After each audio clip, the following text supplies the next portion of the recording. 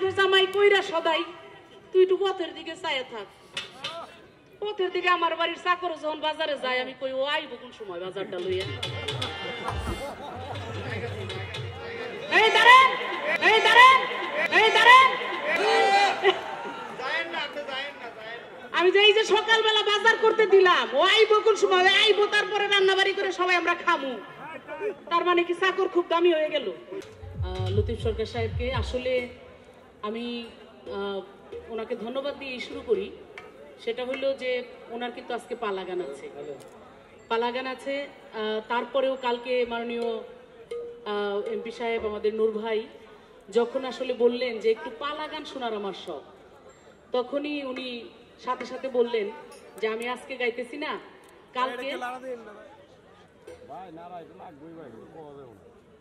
কৃষক লীগের সহসভাপতি। রজ্জবালি দেওয়ান। আচ্ছা সে আমাদের লতিফ সরকারের গানে এক হাজার টাকা দিয়ে সম্মানিত করেছে। তো উনি যে একটু সময় হলেও আসছে একটু পালাগান করছে। আমরা পালাগান যদি আপনারা শুনতে চান এখানে আরও অনেক শিল্পীরা আছে আর আমি ফাঁকে ফাঁকে গাবো। তো আমরা হয়তো সেটা হয়তো নারী পুরুষ না হইতে পারে গুরু শিষ্য হইতে পারে শরীয়ত মারফত নবুয়াত বেলায় তো অনেক পালাই আছে, একটু একটু করে সবাই এক আসর করে একজনে প্রশ্ন করল আর উত্তর দিয়ে আর একটা গান গাইলো, আবার আর একটা জুটি, এরকম হইতেই পারে কিন্তু। এটা চললে ভালোই লাগবে না কি বলেন? তো আমরা তারপরে লতিফ সরকারকে বলব, যেহেতু ওনার গান আছে, উনি চলে যাবে। আমি ওনাকে ধন্যবাদ জানাই মধুর মেলার পক্ষ থেকে। আর অনেক, আসলে কি পালা গানে তো যুক্তিতর্কের গান। এই কথার পিছনে কথা বললে ভালোই লাগে। সারা রাত কিন্তু বসে মানুষ শুনে। তো যেহেতু ওনারও সময় নাই সেই জন্য আমি আর বেশি কথা বাড়াবো না। তবে উনি একটা প্রশ্ন করে গেছে। সেই প্রশ্নের আমার মনে হয় জবাবটা ওনারও শুনে যাওয়া উচিত। উনি বলছেন যে, আল্লাহ বলছে এই সুরতটা, উনি প্রথম গানও এরকম ছিল যে, এই সুরতটা হলো আল্লাহর সুরত। আর এই সুরত, আদমের যে সুরত, ওই সুরত আমার সুরত, এটা আল্লাহ বলছে। এটা কে প্রশ্ন করছিল? কোন কথার জবাব এটা বলছে বলেন তো? আপনি বললেন যে ফেরেশ তারা এই, এবার আসেন। মানে ওনার মুখ থেকে আবার শোনাইলাম আর কি।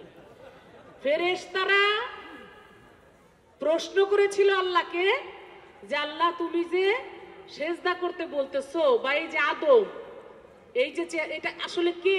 মানে তার চেহারাটা, এটা এই সুরতটা কোথা থেকে আসলো? তখন আল্লাহ বলেছে যে হ্যাঁ এই সুরতটা আমার সুরত।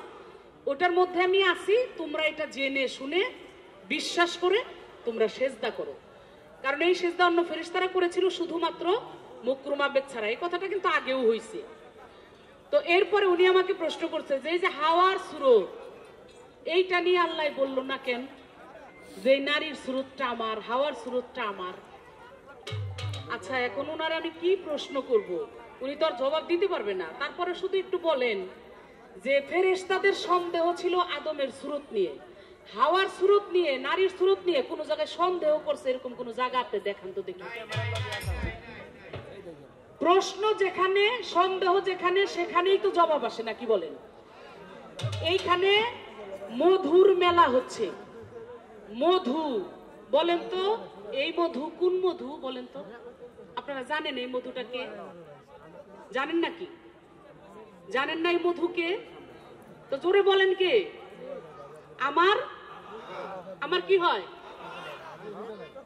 কারও সন্দেহ আছে? সন্দেহ নাই। এর জন্য আপনারা জানেন যে মধুর মেলা, মধু হইল মমতাজ বেগমের বাবা। এবং আমার মা, উজালা বেগম, মোটামুটি আমাদের এলাকাবাসী কিন্তু সবাই এই নামগুলা জানে। কোনো সন্দেহ নাই।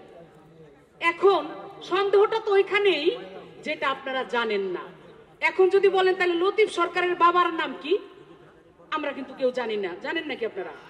তাহলে এখানে আমরা প্রশ্ন করতে পারি যে আপনার বাবার নাম কি? উনি তখন জবাব দিলে জিনিসটা পরিষ্কার হয়ে যাবে। নিশ্চয়ই ওনার বাবাও আছে। কিন্তু এটা আমাদের জানা নাই। জিজ্ঞেস করলেই উনি জবাব দিলে ক্লিয়ার হয়ে যাবে। মানুষের যেখানে প্রশ্ন, জবাবটা তো ওইখানেই থাকে। যেখানে সন্দেহ, প্রশ্নটা সেখানেই থাকে। আদমের বেলায় ফেরেশতাদের সন্দেহ ছিল। এর জন্য ফেরেশতারা প্রশ্ন করছে। নারীর বেলায়, হাওয়ার বেলায় কারও কোনো সন্দেহ নাই। কারণ এটা সরাসরি আল্লাহর চেহারা। এটা আল্লাহর চেহারা। অতএব এইখানে কোনো সন্দেহও নাই, কোনো প্রশ্নও নাই, অতএব এই কথা নিয়ে কোনো আলোচনাও নাই। কেন তার একটা কথা। দ্বিতীয়তে উনি আরেকটা কথা বলছেন।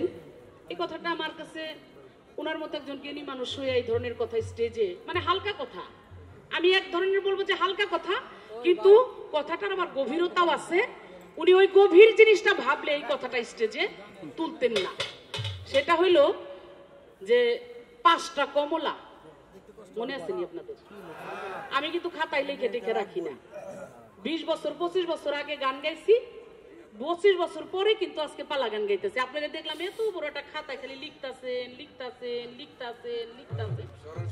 আমি যা যা কইলাম আমাদের নূর ভাই বলছে কই আমি দেখলাম খুব পয়েন্ট লিখতাছে। কম্পিউটার কম্পিউটার ভাই আমি কিন্তু একটাও লিখিনি আমি আপনার পাশে বসা ছিলাম। আমি জবাব দিলে সবগুলা পয়েন্ট ধরে ওনারা জবাব দিতে পারব, কিন্তু আমার কোনো লেখা লাগে না। কারণ আমি হইলাম মায়া, নারী, মা, সবকিছু আমার থেকে সৃষ্টি, আমার থেকেই সবকিছু হয়। আমি শিক্ষা দেই, আমি সবকিছু জানাই, অতএব আমার এমন মহামায়া শক্তি, যেই শক্তির কারণে মুসলমান ধর্ম বলেন, হিন্দু ধর্ম বলেন, প্রত্যেকটা জায়গায় এই মহামায়া, মায়ার শক্তি দিয়ে আমার এগুলা খাতা টাতা লাগে। লেখালেখি লাগে না। আচ্ছা কমলার কথা বলছে। কয়, নীলা পাগলিরে যদি একটা কমলা দেন। আবার আপনি তো তো বুঝছি কিন্তু। উনি তো দাঁড়াই যাইব। আমার কইতেছে, আপনি বসেন, আমি দাঁড়াইতেছি।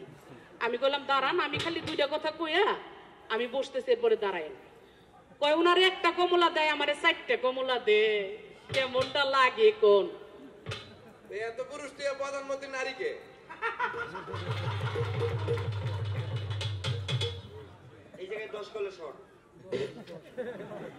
আসলে এই যে কমলা, এই যে আপনারা যে মানে মানে কোনো কিছুতে ধৈর্য নাই, চাহিদা চাহিদা চাহিদা, এত চাহিদা আপনাদের, কোনো কিছু দিয়াই আপনাদের সবুর করানো যায় না। অথচ আল্লাহর পক্ষ থেকে নারীর শক্তি বেশি পাওয়ার বেশি, তারপরেও কিন্তু একটা নারীর সাথে আমি কি বলব বেয়াদবি মাফ করবেন আপনারা কিছু মনে করবেন না একটু নিগুড়ে ঘরে যায় শুয়ে চিন্তা করেন। একটা নারী যদি ইচ্ছা করে আপনার মতো দশটা একশোটা পুরুষও একটা নারীকে কোনো দুর্বল করতে পারবেন। কারণ নারীর এত শক্তি দিয়ে আল্লাহ পাক সৃষ্টি করেছে তার নিদর্শন স্বরূপ বিভিন্ন ধর্মের মধ্যেও দিয়েছে। হিন্দু ধর্মের দেখবেন দুর্গা দশ হাতে মহাশক্তি তার প্রমাণ করে। সকল শক্তি নারীর মধ্যে আছে ক্ষমতা আছে কিন্তু ধৈর্যশীল। নারী হলো ধৈর্যশীল তার জন্য তার এত কিছু লাগে না এত কমলা টমলা লাগে না। কমলার ফ্যাক্টরি তো আমরা। আপনি গো দেই তাই আপনারা পান। নবী আমরা ওলি আমরা। কইবেন তো মা আপনারা ওটা তো জানেনই আপনি। কারণ ফ্যাক্টরি আর বস্তু তো এক জিনিস না। ফ্যাক্টরিতে এই ঢোলটা, এই বেহালাটা, এই হারমোনিটা শত শত লাখ লাখ তৈরি হইতেছে। সাপ্লাই দিতেছে। আর একটা বেহালা, ধরেন আপনার কাছে আছে, ওটা একটা। আর ফ্যাক্টরিতে আছে লক্ষ লক্ষ। অতএব মহামায়া, সেই মহাশক্তি হলো নারীর কাছে। চারটা বিয়ে উনি করতে পারে, একটা পুরুষ, একটা মহিলা, চারটা নারী, চারটা পুরুষ একসাথে রাখতে পারে না। এটাও তার একটা কথা ছিল। আপনারা একটা একটা প্রশ্নের জবাব দিবেন খালি। আপনারা দুনিয়ার পুরস্কার চান না আখেরাতের পুরস্কার চান? আবার বলেন, দুনিয়ার পুরস্কার চান না আখেরাতের পুরস্কার চান? আখেরাতের পুরস্কার চান কে কে? ওনার একটু হাত দেখায় বলে দেন। সুবাহান আল্লাহ দেখেন। আখেরাত্রে বাদ দিয়ে খালি দুনিয়াদারির খাই খাই করতে চান কে একটু হাত দেখান ওনারে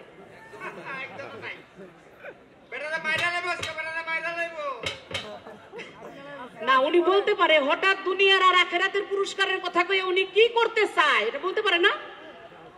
আপনার চারটা নারী হইল এটা দুনিয়ার পুরস্কার। আর আখেরাতের পুরস্কার কি জানেন?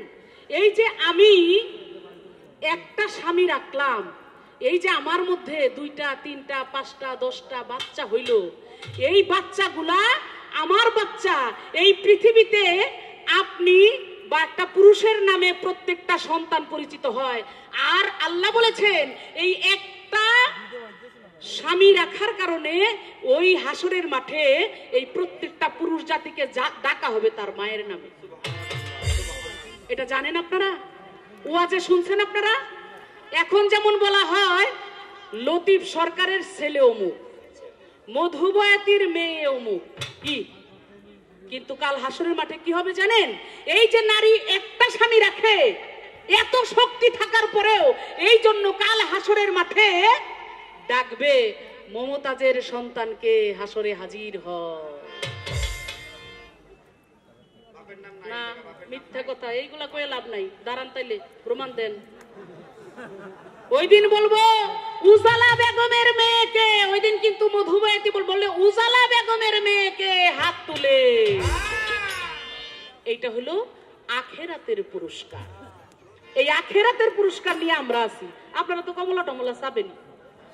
লুভি মানুষ হ্যাঁ? গান গাইছে পল্লী তুই চেতন থাক। কয় রশি সরকারের গান গাই। তো এই সমস্ত ফালতু হালকা কথার গান রশি সরকার লেখে নাকি আমার বিশ্বাস হয় রশি সরকার কি গান লেখে আপনারা শুনাইতেছি আমি, দাঁড়ান। তুই চেতন থাক, জামাই এসে পারবে ডাক। কেন, কামটা কি? কামটা কি? কয় জামাই কইরা সদাই, তুই একটু পথের দিকে চাইয়া থাক।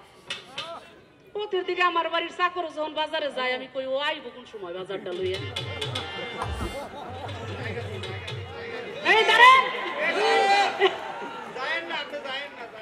আমি যে এই যে সকালবেলা বাজার করতে দিলাম, ও আইবো কোন সময়? আইবো তারপরে রান্না বাড়ি করে সবাই আমরা খামু।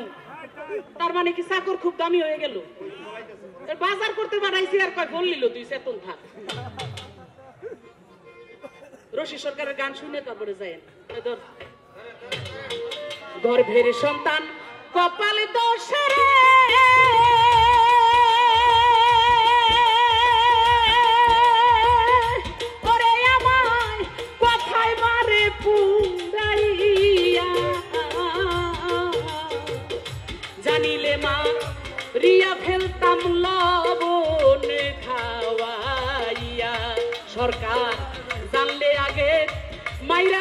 ফেলতাম লবণ খাওয়াইয়া আমার গর্ভের সন্তান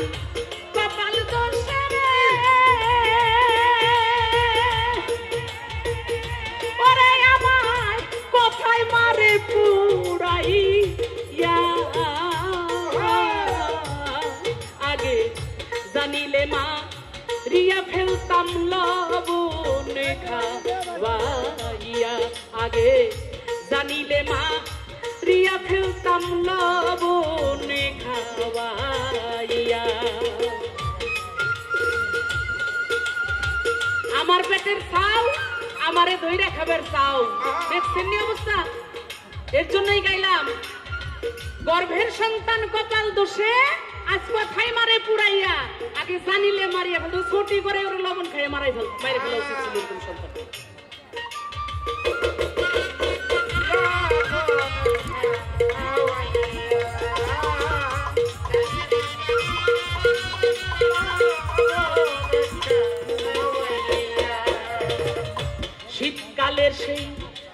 ভিজা খেথা উড়ি আমার, মনে পড়ে শোয়া কথা গো।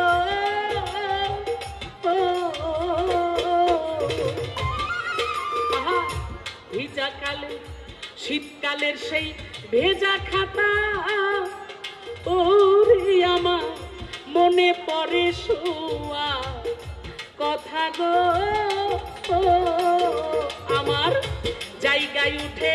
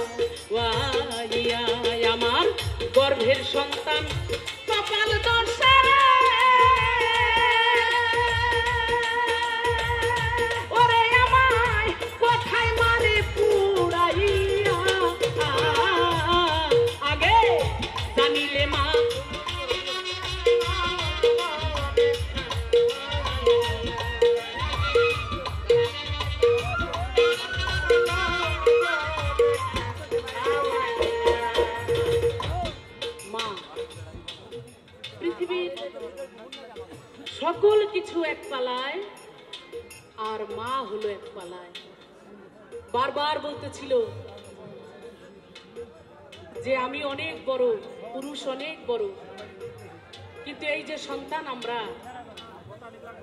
মায়ের এক ধার দুধের দাম, কাটিয়া গায়ের চাম। পাপস বানায়া দিলেও শোধ হবে না। সে হলো আমার মা। আমার মা। উজালা বেগমের কথা যদি বলি, আজকের মমতাজ হয়েছি। আমার বাবা ভালো গান গাইতেন। বাবার গানের সুরে পাগল হয়ে গান শিখতে ইচ্ছে। কিন্তু এর পেছনে বাবা গান শিখিয়েছেন, কিন্তু এর পেছনে আমার মায়ের যে কত পরিশ্রম, আমার মায়ের যে কত কাজ ছিল, যেটা আমি আমার জীবন দিয়েও রাস্তাঘাট ছিল না। কত জায়গায় হেঁটে হেঁটে যায়, গান গাইতে হইতো। ছোট মানুষ, যাইতে চাইতাম না। মা দুই মাইল, তিন মাইল, চার মাইল। মা কোলে করে নিয়ে আমাকে গানের স্টেজের পাশের বাড়িতে দিয়ে আমি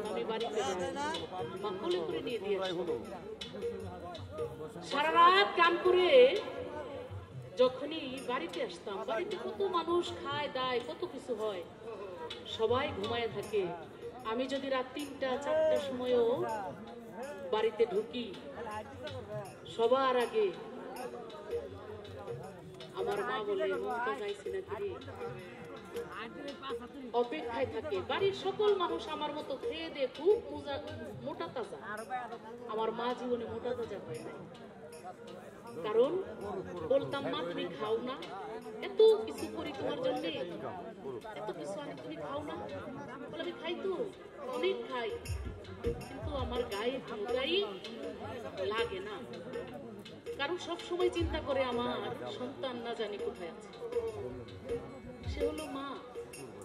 এই যে শীতের রাত যে সমস্ত গ্রামগঞ্জে মায়েরা আছেন তারা জানেন একটা কাঁথা যদি থাকে ওইটা মায়ের ভাগ্যে জোটে।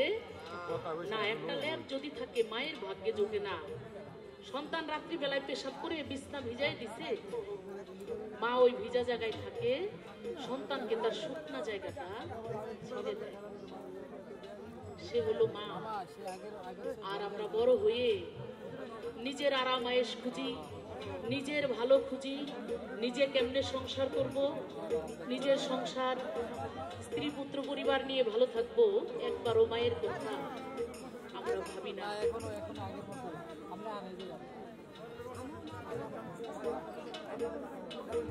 প্রসবে ব্যথা পাইছি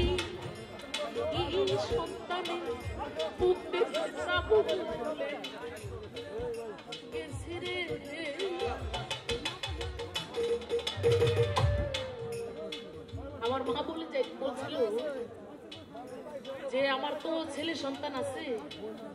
আল্লাহ অনেক কষ্টের সময় পার করতেছিল সেই সময়। আগে জানেন যে, আগে বাবা বাউল ছিলেন। গানে তো আর আগের বয়াতিরা পয়সা টয়সা তেমন পাইতো। না তাহলে সংসারটার অবস্থা কেমন ছিল? বড় একটা সংসার। কিন্তু আমার মা বলছে আমার যদি আল্লাহ একটা মেয়ে দিত তাহলে আমি পারতাম। এত কষ্টের মধ্যে প্রত্যেকটা মাই তার সন্তান প্রসবের আগে কত কষ্ট দশ মাস দশ দিন কষ্ট করে। কিন্তু সন্তানটা যখন পৃথিবীতে আসে সন্তানের মুখ দেখে সমস্ত কিছু ভুলে যায়। মার মনে রাখে না, সে হলো মা। প্রসবে যা ব্যথা পাইছি, ও সন্তানে, মুখ দেখে তা ভুলে গেছি রে। আমি বেঁচে থাকতেও মরে গেছি।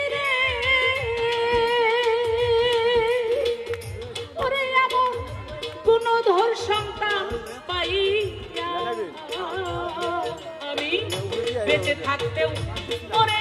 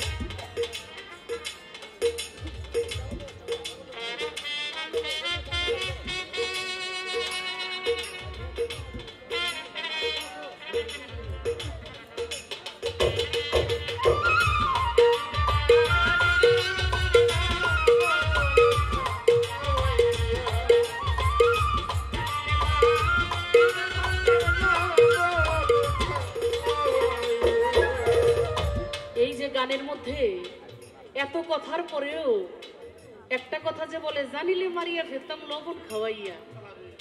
মা কি আসলে পারে?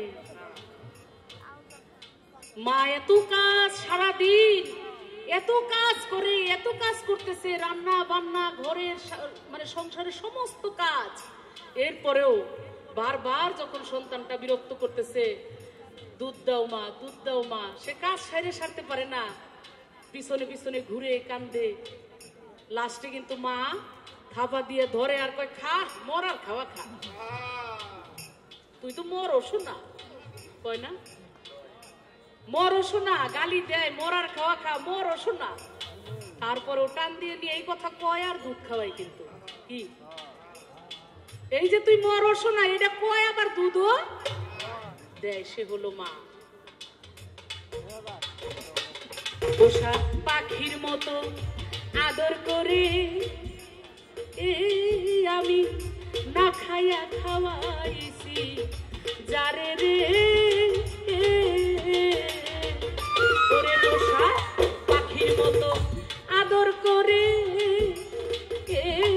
আমি না খাইয়া খাওয়াইছি, যারে রে? এখন বুঝেছে রো সিদ্ধি সরকার